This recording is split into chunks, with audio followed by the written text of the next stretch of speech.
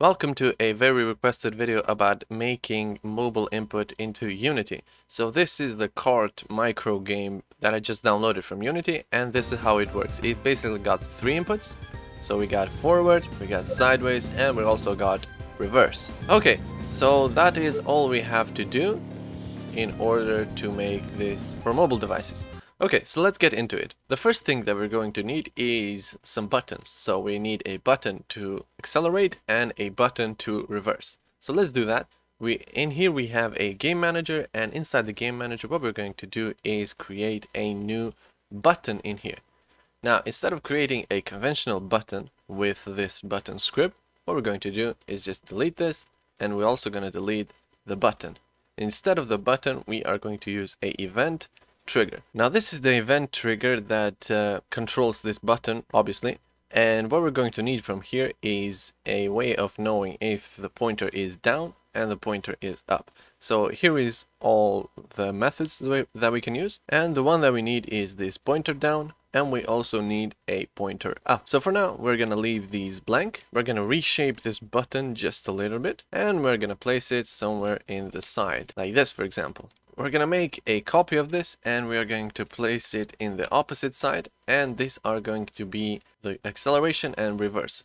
They also have to be very transparent like this so we can barely barely see them and into the final game we should make them completely transparent. Okay now let's get into scripting. So in order to receive input from the UI what we're going to need is a couple of things. So first of all we are going to need a method that will go over to into game manager. And lucky for us we already have a game flow manager. So we're just going to open that and we're going to create some classes in here. So we need four classes and the first class is going to be public void accelerate.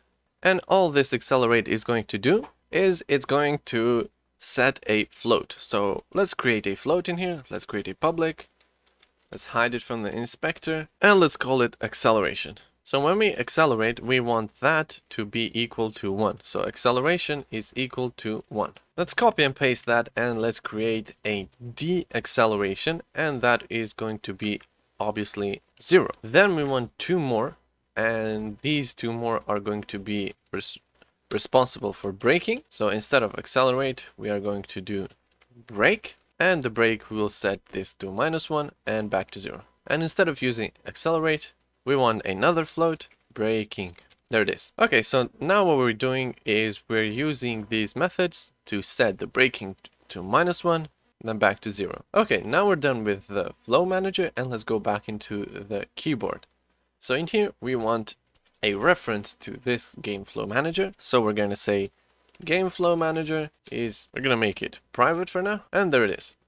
Now we need a start method to actually initialize this. So let's say void start, and we want to say flow manager is equal to find object of type game flow manager. And there it is. We're almost done with our system. So now all we have to do is change these references. So instead of using this accelerate function, we're just going to delete this and we are going to set it to be equal to flow manager dot acceleration is equal to 1 then it's true. If it's equal to 0 then it's false. Okay so what we're doing in here we're using a very simple if statement. So we're saying if acceleration is equal to 1 this is true. If the acceleration is anything other than 1 it's set to false. We're gonna have to do the exact same thing for braking. So we're gonna say flow manager dot braking is equal to 1, question mark, true, and false. And one mistake that I made in here is that this needs to be minus 1. And for the turning, we're gonna leave this as is for now. And later on, I'll show you how to use the accelerometer. So now let's test if this actually worked. And in order to test it, we're gonna go back into these buttons. So this is the right button, and this is going to be used for accelerating. So drag and drop the game manager into this slot in here and go and search for acceleration. There it is. And we want to do the exact same thing for deceleration. So we go ahead and look for that as well. And there it is. Okay, now let's see if it actually worked. And I seem to get an error. Okay, so the one mistake that I made in here is that I'm using start with the small s and it needs to be with the capital S. So just change that and go back into your game. And now if I hit play, we should see that we are playing the game. So now if I try to accelerate, we're to see we're going forward. And if I let go, the car stops. Okay, so now let's connect the reverse. We're to have to do the exact same thing. Game Flow Manager. We're to use brake. And we're going to do the same thing for de-braking. That's how I, I named it. So now if I play, we should see everything is working fine. So now I can go forward and I can go in reverse. And if I let go, the car stays stationary. Okay, so the last thing that I want to show you is how you can use the accelerometer. So in order to use accelerometer, you can just say in here input dot acceleration dot x. So this is when you tilt your phone when it's on landscape mode and it's not preferred to leave it like this.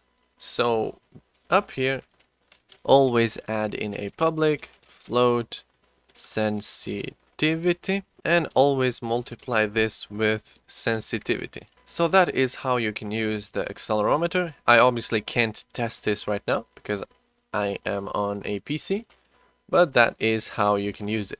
So this is the code. You can just copy and paste it. Thank you for watching and um, I'll see you in the next video.